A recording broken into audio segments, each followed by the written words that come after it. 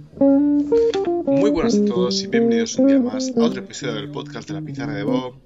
Y hoy vuelve la liga, eh, pero no voy a, no vengo con una previa, sino unas reflexiones o unas, unas conclusiones que saco para, para este partido que viene ante el Alavés, pero partiendo de lo que tiene que mejorar el Villarreal, de lo que veo que el Villarreal ya está mejorando pues desde antes del parón y un poquito lo que me espero de Pacheta, la verdad. Yo creo que estamos en un momento clave. Ahora a la vez, y luego no me acuerdo qué equipo era, pero también era otro partido clave.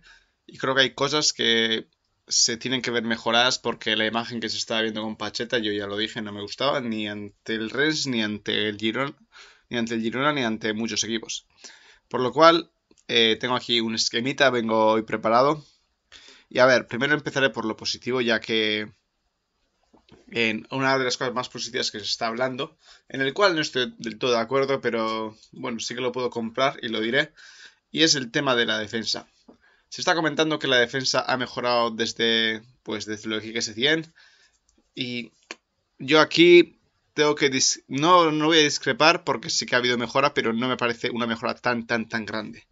En primer lugar, pues lo que ha cambiado es que hemos pasado de un entrenador que literalmente iba a presionar alto, sin ser peor eso, pero presionaba muy alto y ahora pues sí que en transiciones nos ponemos en un 4-4-2 muy unido, muy juntito y hemos ganado más solidez con esto. Y sí que ahí se ha encontrado algo a lo que agarrarse, sobre todo en eliminatorias europeas, yo creo. Eh, aquí tengo unos datos.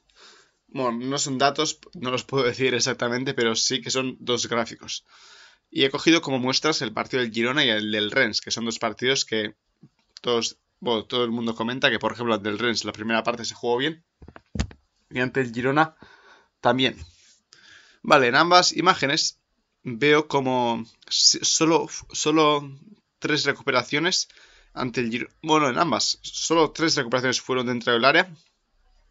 Y todo lo demás fue pues en campo propio, porque sí, el Villarreal coloca ese 4-4-2 en campo propio, pero todas las recuperaciones estaban siendo fuera, del área. Y esos, esas partes, pues el Villarreal no sufrió. Ahora, ¿en qué es donde quiero discrepar? Ese tema de que ha mejorado la defensa del área. Mm, aquí es donde discrepo. Ante el Rennes, la segunda parte no te empatan porque tienes suerte. Yo tengo que decirlo así. No es suerte, obviamente, pero pero sí, un poco sí. Y ante el Girona, pues te acaban ganando, pues por un centro, por dos centros laterales. sí, fueron dos centros laterales. Uno que creo que fue Albiol el que no pudo despejar, el otro fue Mandy. Eh, yo creo que este Villarreal no está hecho para defender el área. No creo yo que mejore muchísimo. Gaby sí que es un jugador que es experto defensivo del área. Es donde yo sí que lo estoy viendo bastante bien. Pero, por ejemplo, creo que Albiol no está en su mejor momento en, este aspecto. Eh, Mandy, aunque sea un central que me guste, no creo que sea especialista en esto. Y la defensa del área para mí sigue estando mal. Cada vez que nos meten dentro del área, como por ejemplo fue el Getafe que nos saldó Jorgensen, aunque es un partido con diferentes circunstancias, obviamente, creo que no defendemos bien. Creo que este equipo necesita colocarse fuera del área y aunque sea pues como en las primeras partes donde el 4-4 está fuera del área, es ahí. Obviamente ningún equipo quiere meterse en el área y eso al final son dinámicas del juego, pero eso es lo que hay que trabajar y el por qué pasa que en las segundas partes te metes en el área, porque lo he dicho, no somos como ese Villarreal de Emery que dentro del área con Albiol, Pau y Capú despejamos todo, ¿no? Ahora mismo no estamos en ese punto y no, no estamos ni con Pacheta ni, ni antes con Setien. Vale, en partido de ahí creo que esa defensa del área se puede mejorar, pero creo que es mejor construir sabiendo que cuanto menos estemos dentro del área, mejor. Ahora bien, con esto, ¿qué es lo que voy? Pacheta siempre ha sido un entrenador que ha presionado. Y me parece que en el Villarreal está aportando una presión que me parece insuficiente. Lógico porque el Villarreal con Setien, pues aunque sí que presionaba y sí que hubo partidos donde la presión estuvo muy bien, no me parece que fuese un equipo que presionase muy muy bien. Y ahí hay mucho trabajo que hacer. Ahora, en el parón, ha tenido tiempo. Por lo cual yo creo que ahora se va a poder ajustar esa presión. Es lo que tiene que buscar y creo que es un equipo que debe centrarse tanto en tener, en tener una presión híbrida donde puedas tener ese 4-4-2 fuera del área, pero también puedas amenazar desde la presión. Y creo que eso es el trabajo que ha tenido que hacer Pacheta. Y si, como comento, siendo Pacheta un entrenador que en los anteriores equipos sí que ha presionado, pues creo que él también lo sabe y creo que va a ser algo que, habrá trabajado. Ahora con balón, pues yo creo que es donde más trabajo hay. Yo lo dije en su día, a mí el tema de que saliese con tres centrales, bueno, me explico, que saliese con tres porque Parejo se metía entre centrales me parece buena idea. Lo que me parece buena idea es que el, único jugador que esté un poco más adelantado sea Capú y sea una línea de 3-1 en vez de una línea, dos líneas de 3-2. Yo creo que ahí se está equivocando Pacheta. Tiene que acumular más jugadores.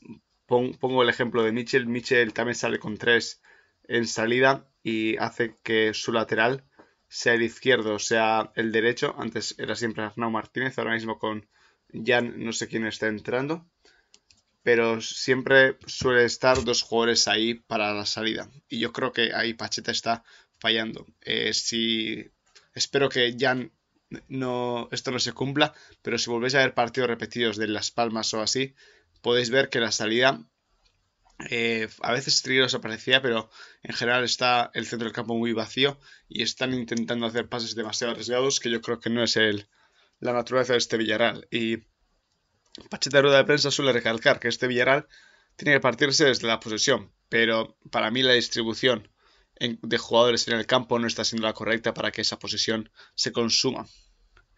Eh, una cosa que se me ha olvidado hablar en defensa y es que creo que las transiciones han mejorado, creo que es el mejor, lo, más positivo que puedo sacar por ahora en Pacheta y es que ahí creo que no estamos encajando casi ninguna, ninguna ocasión aparte del partido ante la Almería.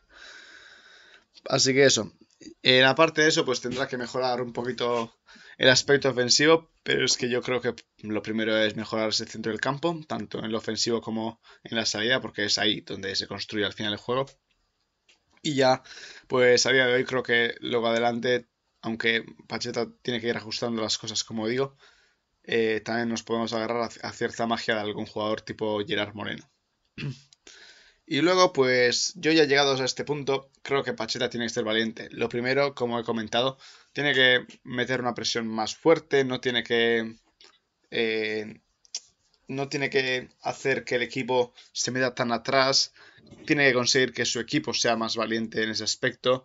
En salida tenemos que, creo que, arriesgar más, obviamente con un jugador más, pero arriesgando en la salida y siendo un equipo dominador, sin echar balonazos adelante aunque tengamos a Sorloz y que sea que Sorloz en salida sea una herramienta más, no la herramienta principal. Y luego pues creo que un cambio de formación no vendría mal. Un 3-5-2 yo creo que encaja en este equipo. El otro día en un podcast me comentaban que eso les parece una formación defensiva y no me lo parece. Un 3-5-2, si a los carleros les haces subir muchísimo, como, hace, como, hace como hacía Pacheta en el Huesca, no es defensivo, simplemente es una formación que sí que es cierto que los carrileros necesitan mucho físico, que bueno, Pedraza, que decir de Pedraza y luego en la banda derecha pues vas rotando, pero Kiko Femenía yo lo veo bien físicamente. Eh, y yo creo que sí que puede ser valiente y sí que debería hacer un cambio de formación, pero es que yo lo que estoy viendo es que Pacheta no está siendo Pacheta y creo que si tiene que morir, tiene que morir eh, siendo valiente y siendo un entrenador que muestre que haya querido hacer un cambio importante. Porque a mí, al menos, si esto sigue así y acaba saliendo Pacheta, me, me quedaría la sensación de que ha intentado copiar una fórmula de Emery en ciertos aspectos, aunque con balón sea una formación diferente. Creo que está intentando copiar demasiado esa época dorada del Villarreal, porque también los jugadores quieren así. Y creo que no es la solución. Y creo que Pacheta, pues como comento, tiene que ser más Pacheta. Así que bueno, hasta aquí mis sensaciones y lo que me espero. A ver qué tal vuelve el equipo, si se nota el trabajo, porque ya, como comento, no hay excusas. Si había problemas de físico, ya se ha podido trabajar un poco más. Así que esperemos que haya una reacción. Adiós.